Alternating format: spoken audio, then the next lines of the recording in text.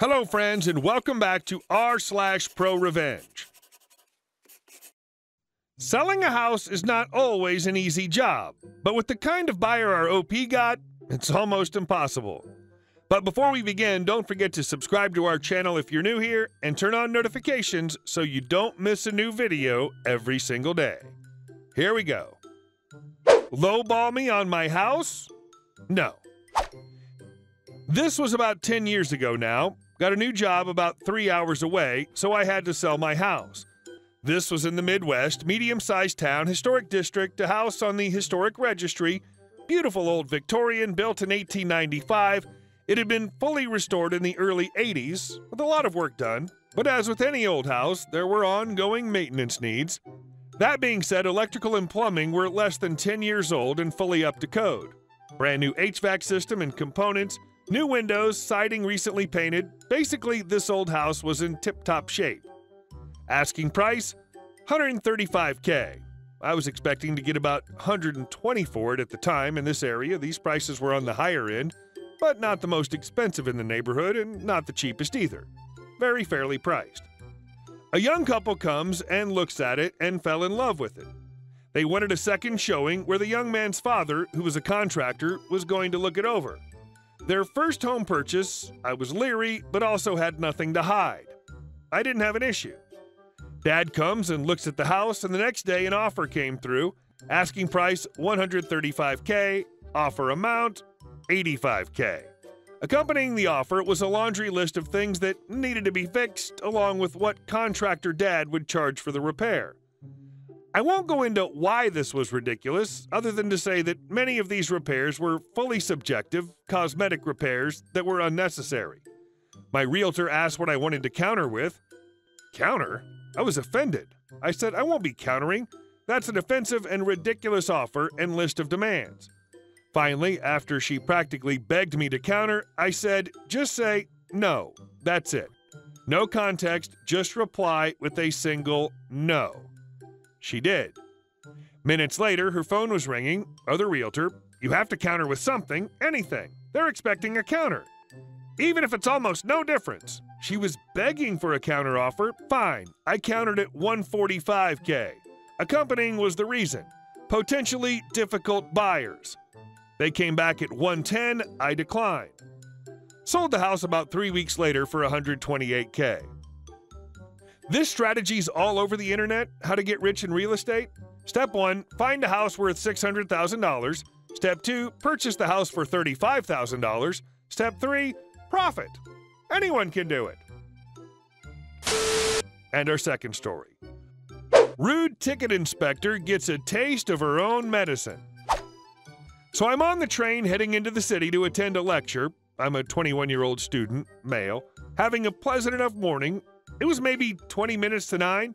I missed my usual quarter past 8 train, which is normally crammed full of morning commuters, but not to worry, as class didn't start until 9, and I usually stop by and grab a bacon roll and a cup of tea. But I'd make it to class with 5 minutes to spare if I gave up my bacony goodness. Tragedy, I know. I just recently upgraded my bank account and got a new debit card that allowed me to use the card to pay for my train tickets on the train, which was handy because the machines can be slow, and I've missed a few trains in the past when using my old debit card that only worked on these machines, not the handheld ones that she has on her person. So I thought, why not use this opportunity to test out the new card? As I said, it was the train after the usual busy commute, but the carriage was still at least three quarters full. The ticket inspector comes by, and she's a middle aged English woman, I live in Scotland, who I've seen before and have noticed that she can be very rude and obnoxious and thinks she's God's gift because she has authority on the train. She starts to check people's tickets, tapping her feet and huffing with impatience at people who have to dig around in their pockets to find their tickets before she can move on. Clearly not pleased that people don't have them at the ready. I'm sitting there with my earphones in, minding my own business with my new debit card at the ready.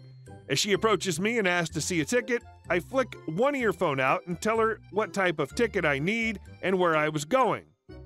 Around this time, we were going through a tunnel, so there was a bit of reverberation of the sound of wind gushing through the carriage. She asked me to repeat myself because she claimed she couldn't hear me. So I repeat my request Now, I don't know if she has hearing problems or being English, she couldn't seem to understand my Scottish accent, which isn't very strong at all, because I had to repeat myself a total of three more times. Each time, I was progressively getting louder and louder until I was almost shouting, and I could see other people on the train looking up, clearly curious as to why I was talking so loud, proving that they could hear me just fine. Finally, she understands what I'm trying to ask her and then says in her most bitchy, condescending tone, Well, if maybe you took out your other earphone while talking, I might be able to hear you better. I sat for a couple seconds in confusion, absorbing what she'd just said. It didn't make sense. But all attention was on me and her now, and I could see confusion at her statement registering on other nearby passengers' faces as well. Not one for confrontation, I swiftly apologized and handed her my debit card. She huffed and whipped out her card machine, but it seemed like my morning was only going to get worse because my new card got declined. I have money in my account, but later that day I learned that I had to call or text a number to activate my new card, which I forgot to do. She was visibly irritated when I asked her to try and ring it up again, but no luck. I'm starting to get a bit red in the face because at least half the train's looking in my direction. Some people were looking sympathetically towards me, others just smirked at my misfortune. Luckily, I kept 20 pounds behind my phone cover in case of emergencies, so I asked her to bear with me while I take my phone out of my pocket and crack open the case, then present her with the 20 note. Now, maybe it was because I was a young male, or maybe it was because the note was behind my phone case, but when I handed it to her, she snatched it off me and held it up to the light and scrutinized it for literally 15 to 20 seconds to see if it was fake. This is strange because it had never happened before, and I've used many 20 pound notes to pay for a ticket before. I ask her if there's a problem with the note, to which she replies in a loud voice, I'll tell you in a minute, boy. Oh crap, she did not just call me boy. You could cut the tension in the carriage with a knife. All eyes were on this transaction at this point. Finally, she seems to accept my note as legal tender and digs around in her purse for my change. I received a few coins back, a 5 pound note and a 10 pound note. As she handed me the change, she started to walk away.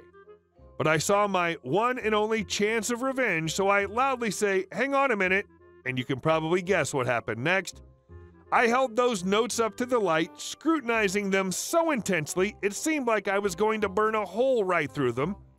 As I did this, the entire carriage erupted in laughter, and the old couple closest to me started an applause which spread throughout the majority of spectators.